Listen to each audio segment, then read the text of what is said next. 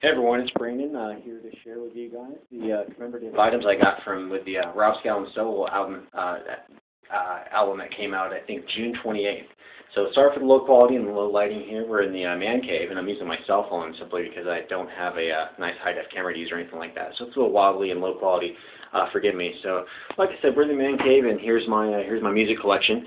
So right there in the middle, that's what we got there. Rob sent me the guitar he used. Just kidding. Uh, he just sent me the string.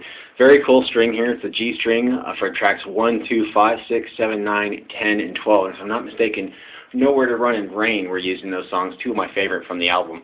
Uh, also liked uh, Gallops and Sprints, I think it's called. So I got it was signed too. So there it is. Um, that Rob uh, signed.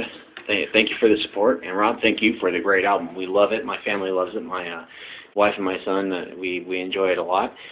So, like I said, it's a temporary fixture. It's going to go probably on the wall on a nice plaque there. So, but anyway, uh, so I look forward to any everyone else's sentiments from the album and to see their, uh, you know, their um, likewise uh, kind of collection of their commemorative items. So, and I hope everyone enjoyed the album as much as I did. So, Rob, great work. Everyone else, look forward to seeing uh, what you have to share. Thanks very much. Brandon signing out.